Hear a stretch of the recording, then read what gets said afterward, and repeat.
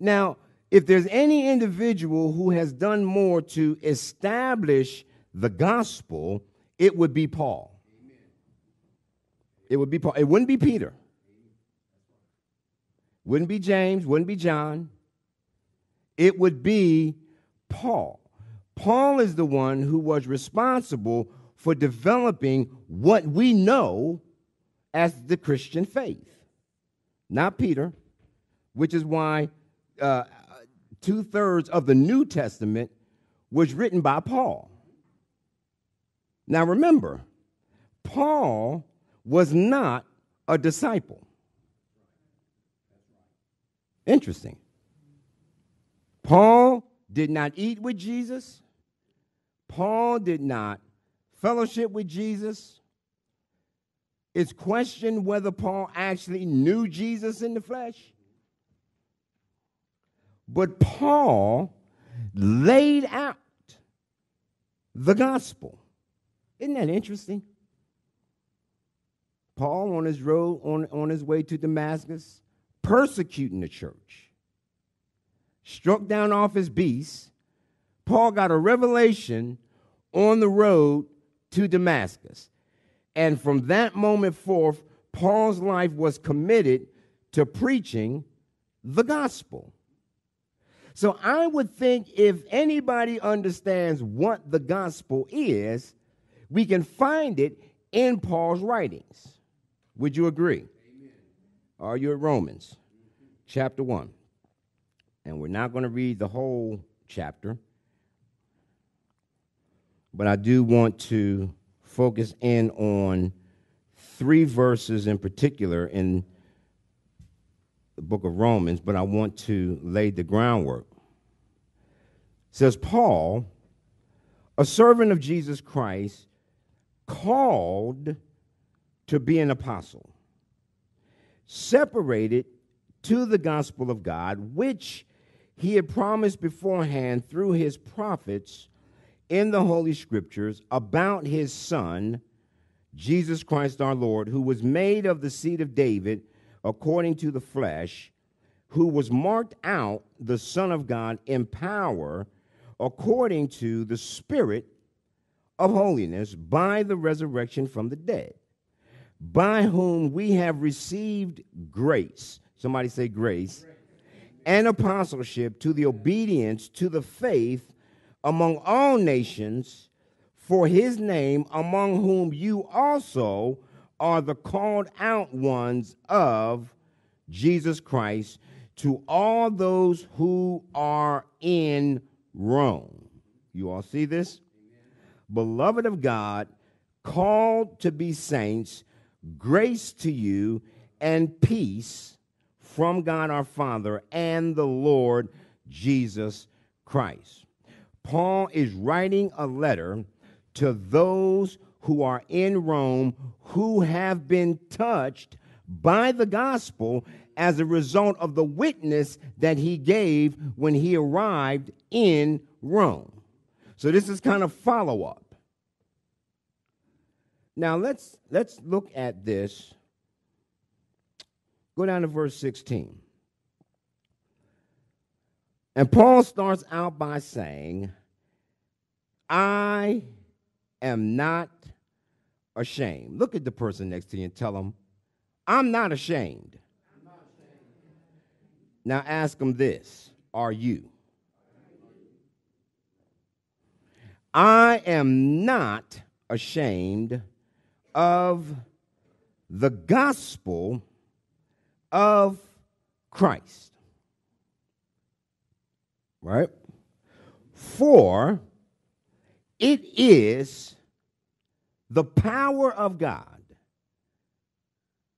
unto salvation to everyone who believes, to the Jew first, and then also to the Greek. For in it, somebody say, in it. And we're going we're going to unpack this because there's a lot in this. Because in it, the righteousness of God is revealed from faith to faith, as it is written, the just shall live by faith. Now let's go back and let's look at this and, and pick it apart.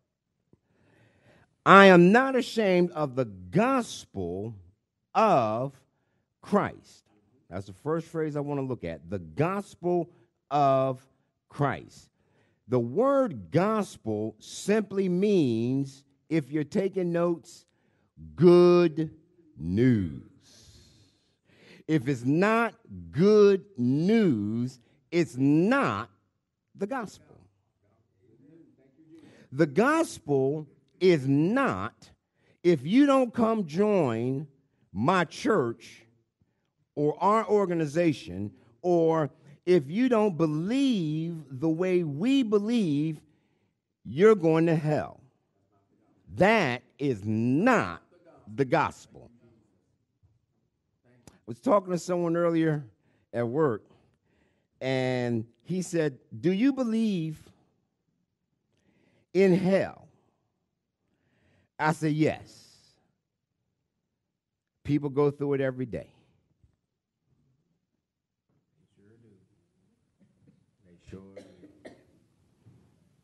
He said, But that's not what I'm asking you. I said, Well, that's what you asked me. Do I believe in hell? I said, Yes, people go through it every day. He said, No, do I do you believe God is going to send people to hell? I said, No. No. I do not believe God is going to send people to hell.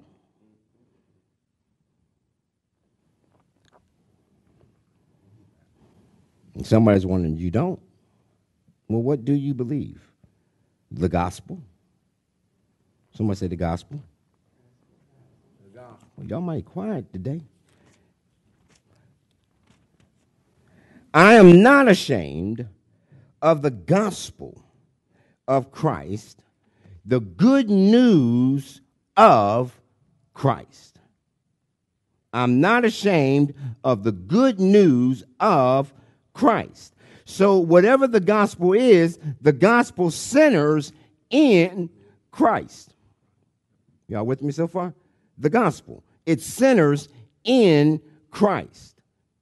Jesus is central to the gospel. No wonder Paul had to say, I'm not ashamed of it. Because they, they wanted to remove Jesus from being central to the gospel, and they wanted to place the effort and the way of being made right with God, they wanted to take it off of the death, burial, and resurrection of Jesus and put it back on stuff people did. Works. That's what got Paul in trouble. We're going, we're going to see that. I'm not ashamed of the gospel because it is the power of God. The gospel is the power of God. And power means force, power means energy, power means strength. Power does something. If you don't believe me, take a knife, find an electrical outlet, and stick the knife in there and watch what that power does to you. That power will knock you off your feet. Power. Somebody say power. In the gospel, there is power. That's why the early church could go out and be witnesses in demonstration and power because the gospel is what they preached. Y'all with me? I'm not ashamed of the gospel because in it, the power of God that brings salvation to everyone that believes. Now, let me talk about that for a minute. The gospel brings salvation to those who believe. Now, in the gospel is power, but you don't ever touch that power or you're not touched by that power unless you believe. your believing doesn't put the power in the gospel. Your believing draws the power out of the gospel. Mm-hmm. Amen. Amen. I feel some power up in here today.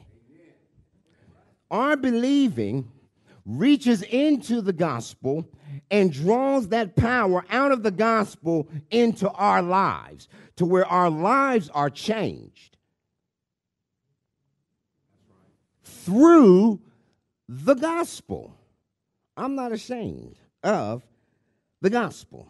See, they wanted Rome to be, they, they wanted Paul to be cultured. They, you know, they, they call, they, you know, they used to talk about, they said, what, what is this babbler trying to say? Read, you know, read, read Paul's testimony sometime. So what, what, what is this babbler trying to say? Doesn't he, doesn't he understand that he has to go through all of the, the, the, the nuances of, of the Greek and, and Plato and Aristotle, all the stuff that the Romans believe? You know, the Jews got caught up in that, trying to be intellectual trying to intellectualize the gospel. Now, the gospel is very intellectual. Don't get me wrong. The gospel should make us think. Yes, amen. Scriptures should make us think. Mm-hmm. Because there's some stuff in here that you really got to process. Not ashamed of the gospel because it's the power of God that brings salvation. Now, what is salvation? Salvation means deliverance, salvation means rescue, salvation means safety, salvation means healing, salvation means wholeness. All of that is entailed in that one word that we use salvation. Unfortunately, when we think, not we, but we think about salvation, we simply think it's talking about when I die, I'm going to heaven. That's salvation. No, that's a byproduct of salvation. It is a part of salvation.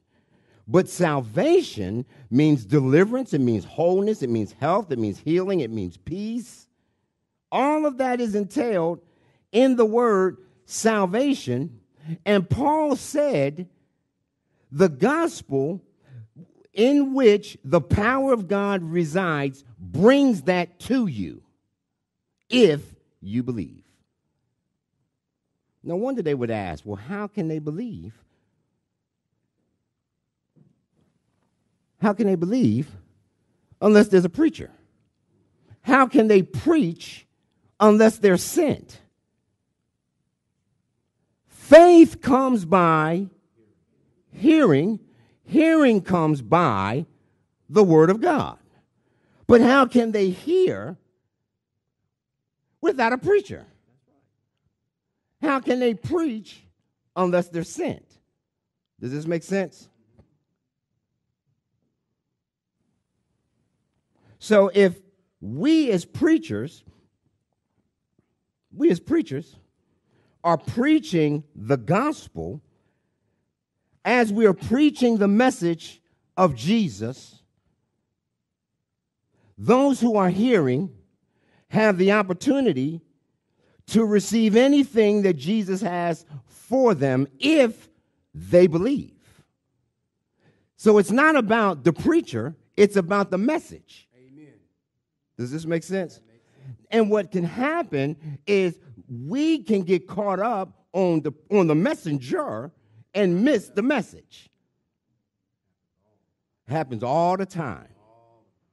We get caught up on the messenger and we miss the message.